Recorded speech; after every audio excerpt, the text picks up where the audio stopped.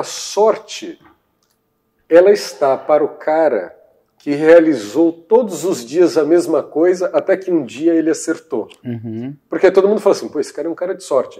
Não, ele executou ininterruptamente até que aconteceu, Aconteceu. a mágica. E aí as Oxalá pessoas, tenha sorte também. as pessoas chamam isso de sorte. Eu falo de disciplina. Disciplina. Você executou de forma contínua. Os meus pais, eh, eles sempre nos obrigaram a fazer algumas coisas básicas em casa. Lavar a louça depois que você come. Fazer a cama. Todo domingo à noite, a roupa da escola, a mochila, o tênis, o uniforme tinha que estar pronto para o dia seguinte na cama. Ou seja, eu já tinha que preparar o meu gol, no mínimo de sair no horário e ir para a escola. Então, essa disciplina, ela, você não constrói ela hoje para amanhã.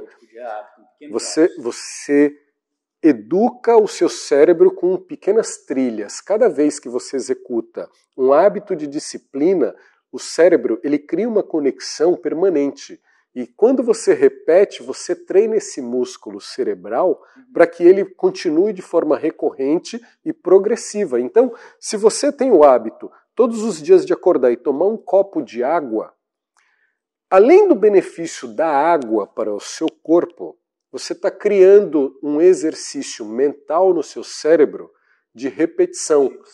Então, se você incrementar depois da água, fazer uma flexão, você já criou de novo um outro hábito no seu cérebro. E a partir daí, você se torna uma pessoa invencível.